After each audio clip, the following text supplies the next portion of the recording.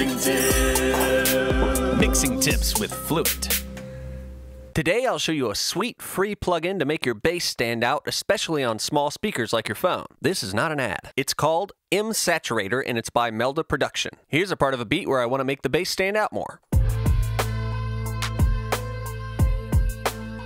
And here's the bass.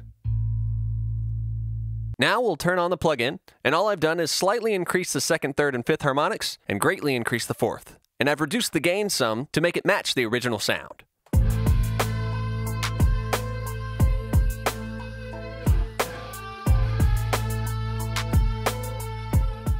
Like, follow, or subscribe for mixing tips, nerd stuff, and more.